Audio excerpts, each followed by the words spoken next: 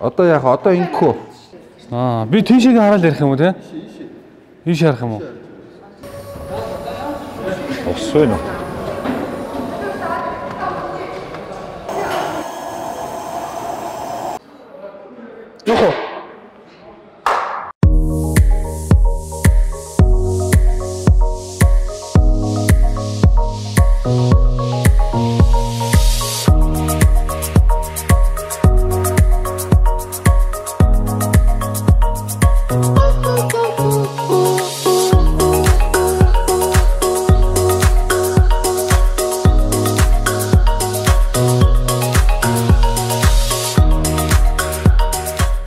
За сайн байна уу гомсрон байна.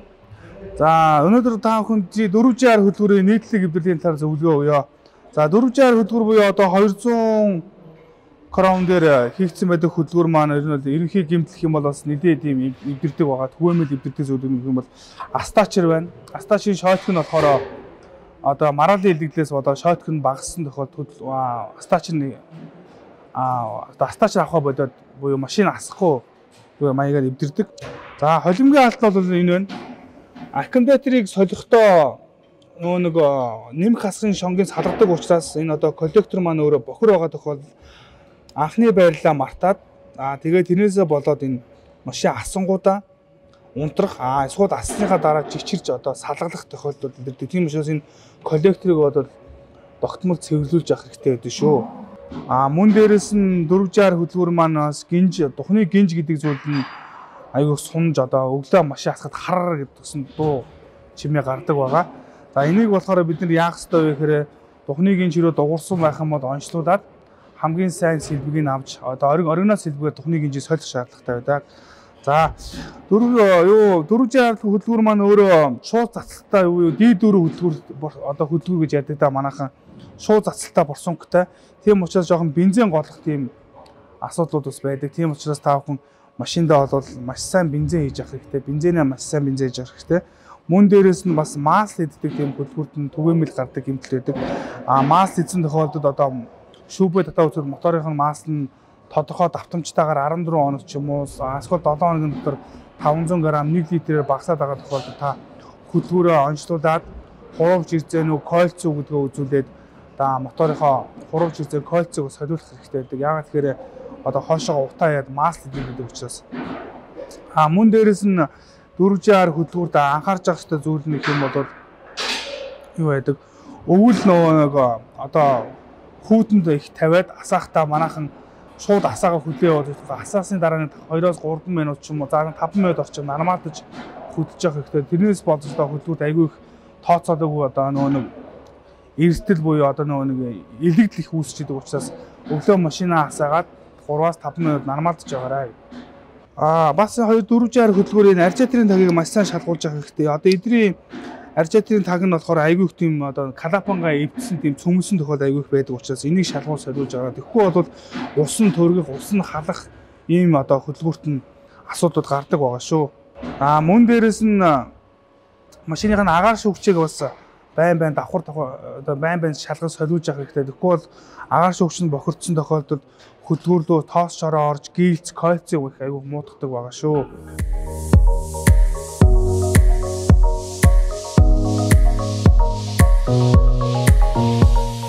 Коропонд түгээмэл тохиолдог гэмтлүүд гэвэл араа шилжихгүй байх, мөн угзрах, чек хинжээ насах тийм гэмтлүүд ихэвчлэн тохиолж идэг.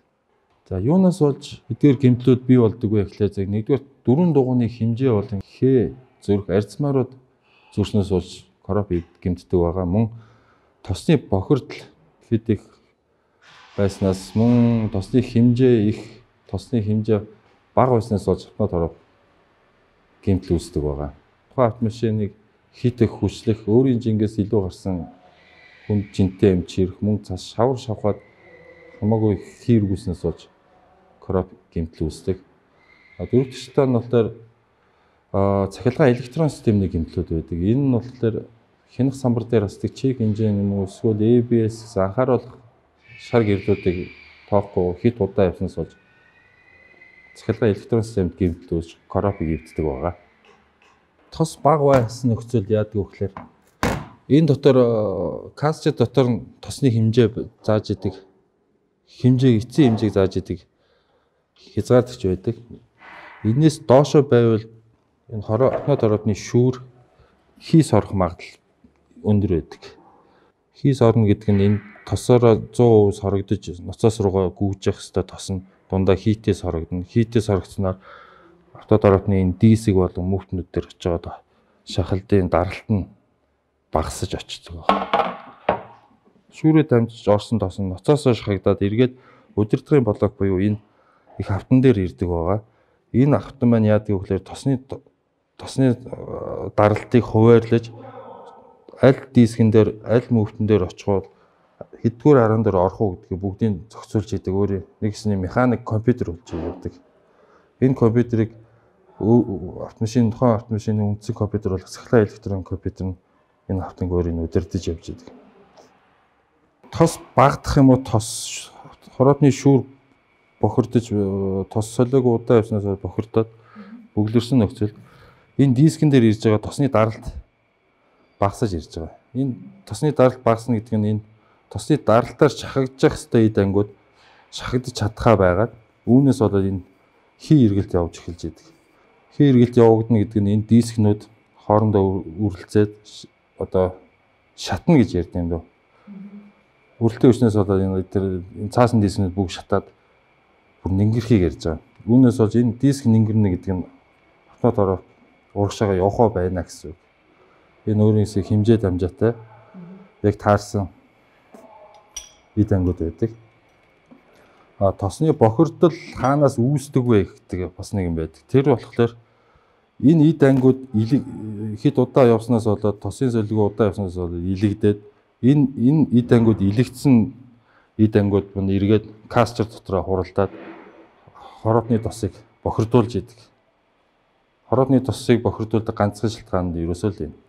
Эд ангууд илэгдэл орсны л үр хөшгөн гарч байгаа чек инжээ асах болно араа солигдохгүй байх гэдэг шалтгаанууд юунаас их үүсвэртэй байдаг вэ гэхээр энэ цахилгаан солиноидууд байдаг гэд эднэр бүгд төв компьютероос мэдээл команд авч ажиллаж идэг эд ангууд байдаг. Төв компьютер нь өөрөө болохоо байгаад ирвэл энэ цахилгаан солиноидууд удирдах чадхаа байна.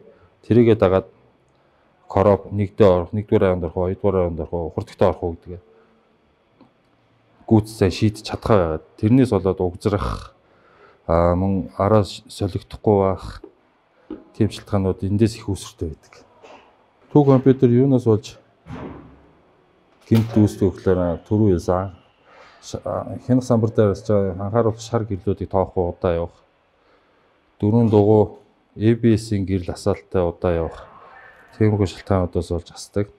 Сүүлийн автомашинууд дөрөв дугуунаас мэдээлэл авч иж араагаа шилжих хурдаа мэдрэх хурдаа мэдээж араагаа шилжүүлдэг болсон байгаа.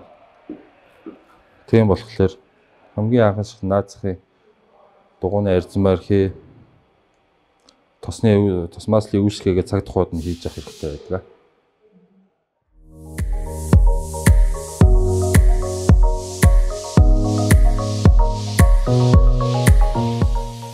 За сайн байна. Мэргэжлийн инженер Ирэх Бодргон байна. За өнөөдөр би 2010 оны Toyota 204 Crown дээр гардаг түгээмэл гэмтлийн талаар та бүхэндээ танилцуулъя. За 204 Crown-ы үед бол цонхон дээр бас асуудлууд байгаад байдаг. За одоо жишээ нь ингэж дээшээ өргөөд за ингээд дээрээ тулангуудаа ингээд тал дондаа ингэ ирдэг. За энэ бол өстой түгээмэл гэмтэл байгаа. За энэний шалтгаан гэх юм бол энэ дээшээ доошоо өргөж байгаа ийм хайчин ийм зам байдаг. Тэр хайчин зам өөрөө гул заах А тэр богдож байгаа хоёр тэр захын болт нь нэг нь сулдраад эдлэгээний явцад сулдраад унах гэдэг ч юм уу тийм тохиолдлууд яг ийм шив тэмдгүүд гардаг. Тэгэхээр энэ өхнөөс урдсан сэргийлэх юм гэх юм бол бас энэ завсруудаар энэ өргөж байгаа зам нь өөрөө ийм шороо мороо ороод ийм далийн мали өргөх юм бол бас ийм шив тэмдгүүд илэрдэг байгаа шүү. За бас 204 кроны хувьд одоо 200 кронуудын хувьд бол а энэ багажны хаалга нь автоматар өөрөө хаагддаг буюу сордог ийм хаалгатай байгаа. За манайхан бол энэ урд хаалган дээрх конопо дарангууд миний багаж онгоохоо байчлаа гэж их орж ирдэг. За энд нэг хоёр шалтгаан байдаг. А урд хайрцаган дээр байдаг багажны энэ автомат хаал хаалтыг болиулдаг нэг коноп байгаа. Тэрийг бас ихэнхдээ төгөөмөл дарсан байдаг. За тэрнээс өөр гэх юм бол бас энэ багажны энэ хаалга маань өөрөө тоочиг зүрх эдлгээний явцад энэ механик гэмтлийн чойжин дээр гарах тийм үедүүд энэ багаж маань онгохоо болдог. За энэ хаалганы хувьд бол автоматар ингэж татна. Одоо ингэж хаагаад автоматар өөрөө ингэж татдаг, өөрийгөө сордог юу байгаа, багаж байгаа. За энэс энэ бүхнээс урдсан сэргийлэх зам гэх юм бол энэ багажийг автоматар хаах үедээ ямар нэгэн байдлаар буцааж татах, а энэ багажаа дүүртэл юм хийчээд өөрөөр нь багажаар нь соруулж ингэж чихэж хаахыг бол хоригддаг. Чихэж хаахыг хоригддаг. А тэгэхгүй манайхан болохоор ингэ дүүртэл юм хийчээд багажаараа ингэ шахаа татуулаад хаачангууд энэ чойж маань өөрөө механик гэмтэл гарах доторх арааш өднүүд нь тоочгон зөрөх, хугарах гэх мэтчлэн ийм гэмтлүүд гардаг аа. Хабрид 204 кроны хувьд бол одоо энэ суудлын ард хабридын нөгөө том том батарей гэж ярьдаг. Яг үндсэн хабридын батарей. За энэ бол түгээмэл одоо ерөнхийдөө бол муудсан байдаг. Манайхан 90 онцлуулгууд батарей солих гэж түгээмэл компьютер онцлогоор алдаа гардаг. За энэ нь бол яг хуу үйлдвэрээс ерөнхийдөө бол нэг 150 мянгаас 180 мянган хооронд бол энэ батарейг солих хэрэгтэй байдаг. А тэгээд дээрэс нь ашиглалтын бас хугацаа нь бас болцсон байдаг. Одоо жишээ нь манай энэ машин чинь бол 10 оны машин гэдэг чинь одоо үндсэндээ 10 жил болсон гэдэг бол ерөнхийдөө батарейныхын чанар нь бол муудсан байдаг аа гэсэн. Тэгвэл энэ батарейг бас гэмтэх муудах бас нэг шалтгаан нь бол манайхан явуулт баг тэрэгэн дээр бас батарейн дээр түгээмэл гэмтлүүд гараад байдаг. Өдөрт нэг 2 км ажилдаа яваад тэгээд оройн ажил хэрэг оронд 2 км-т явдаг ч юм уу. Тэгэхэд шууд хянах самдар дээр чек инженерийнх нь гэрэл нь асаад тэгээд компьютер онцлогоо залгаад үзэнгүүт батарейгаа солих болсон байна. Батарейны ерөнхийдөө чанар нь муу байна гэсэн ийм албаанууд гардаг. За тэгээд энэ бүхнээс урдчилсан сэргийлэх хамгийн энгийн нэг зүйлгүй бол машиныхаа шар гэрлийг бензинийг бол өргөж дүүрээс дүүрэн тийм явах хэрэгтэй. Тэр бензин бага явснаас болж батарей бас гэмтэх тийм сөрөг талууд бас байдаг аа. Корон дээр бас төгөөмөл гардаг гэмтлүүд бол яндан мэдэрч хийхдээ гэмтдэг. За чек хэмжээнийхэн гэрэл асангууд компьютер онцлогоор оронгууд яндан мэдэрч гэмтэлтэй байна гэж гардаг.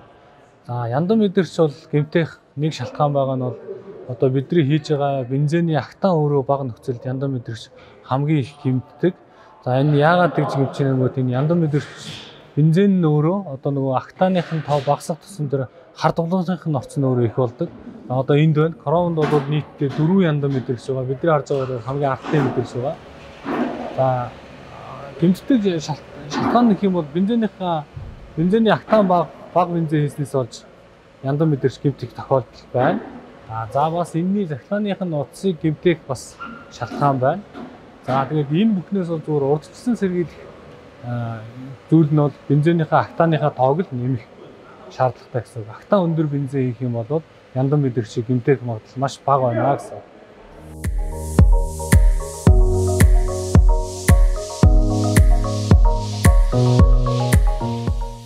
сайн бацхан доктор зөвчний мэрэгсэн инженер Баатарчлан байна. За та бүхэн өнөөдөр 2010 оны Корон 200 сэрийн машин дээр түгээмэл одоо сулгуурын ангид тохиолддог түгээмэл нэг 2-оос 3 гэмтлэр тэрний талаар зөвлөгөө болон урьдчилан сэргийлэх хэмжээ зааж өгье. За Корон 200 сэрийн машин унж байгаа хүмүүс маань ерөнхийдөө 2 3 юм тийм шалтгаан хийж орж ирдэг. А эхнэр нь болохоор одоо хурд зар машин дээр ч юм уу одоо гүвэ шиг гүвэ маягийн одоо донцлогон дээр гарахаар нэг эрзэн чахсан дуу дуугараад юм. За мөн донцлогон дээр жоохон тийм зочгонсон дуу ороод ирсэн тийм үүтэй болж ирдэг. А тэрний шалтгаан нь болохоор одоо энэ урд хэвтээдэн зүйлийг чинь дарууж ирсэн гэж байдаг. Энэ эрзэн маань муудаад ихлэхээр одоо хоёр эрзэн төмөр хоёр хавирч тийм хоорондоо тийм үүссэн тийм чахсан дуу гэдэг. Тэр нь болохоор хурд цааруулагч болоо одоо гүвэн дээр гарахад айгүй хот чахар сонсогддог. Аа мөн гонцлогон дээр бас тийм жижигхэн тийм төчгөнсөн дуу гэдэг ба. За энэ тэнцвүүлэгчийн дарамт ирсэн уртлан дуурч ирсэн юм шиг энэ бас Монгол маягаар тэгээ юм ороогоод ингээд янзлсан. Энэ өмнөх явахгүй л тээ. Яг сугуулаа гараад ирдэг. Энийг бол яг өөрийнх нь оригинал сэлбээр шинжих хэрэгтэй. За хоёр дахь шалтгаан нь болохоор за өрүүлийн цахилгаан өрүүлийн аппаратаа болж ирсэн. Эний цахилгаан өрүүлийн аппарат унаас өөрөө жоохон дуу ордог. Одоо энэ машины манд ч гэсэн өрүүлийн аппаратсан дуу орсон яаж мэддэггүй гэхээр гонцлогоон дээр бас одоо дэржинүүлтэй зам дээр нэлийн төчгнө. Мөн өрүүл рүү тийм цохоо одоо дэргээ тийм точгонсон өрүүл рүү дамжиж орж ирж сонсогддог байна. За мөн одоо үйлдвэрээс гараад солигдоогүй амралтын задар бол бас их дуурдаг. Аа мөн үйлдвэрээсээ гараа муудсан амарч мөн манайхан солихтой хитэд амарч одоо чанарын баталгаагүй амарт зэрэг их тавьдаг байгаа. Аа хитэд амарч яадаг бол 204 одоо 200 сэрийг колон болохоор амарт зэрэг маш голддаг машин байгаа. Тэгээд одоо хитэд амарчын 50 гууд шин дээрээ бас дуурдаг. Шин дээрээ дуурна одоо амралтын дотор нөөрэ гацсан. А тийм учраас та бүхэн одоо амралтын дотор сонгож солихтой одоо найдвартай чанартай оргиноос илбийг зөвлөж тавьж байгаарай гэж хэлмээр байна. За урдуур бол ерөнхийдөө ингээд иймэрхүү үед ингээд байна. За бусад эдэнгүүд нь болохоор ерөнхийдөө хугацаанд болохоор мууд мууд гэхдээ тийм дүгээрмэл жишг хэмтэлүүд байгаа. За Корон маркийн машины хойд эдэнг дээр ерөнхийдөө яг нэг түгээмэл байнгын эвлэрэл тэгээд ингээд бас гайгүй ерөнхийдөө дуу олж мууд нэр нь хацсангүй баг байдаг. Хойноо яг юу анхаарч байгаа хэвээр тэгэхээр түрүүний урдлынхтайгаа муу адил амортизатораа маш зөв сонгож зөвлөж байгаа хэвээр. Ялгаагүй хитэд амарчин юм бол одоо дуугар нь бас шин дээр шин дээрээ дуурайд гэхэд тэгээд бас одоо их ажиллагааны бол бас гацдаг тийм тохиолдол байгаа. А тэрээс бусдаар бол хойдолтой тийм нэг бас дуу орж идрээд байх нь дүгөөмөл тохиолдолт гэмтэл баг байдаг да. За өөр анхааруулж хэлэх юм бол алга байна. Анхаарал тавьсан та бүхэнд баярлалаа.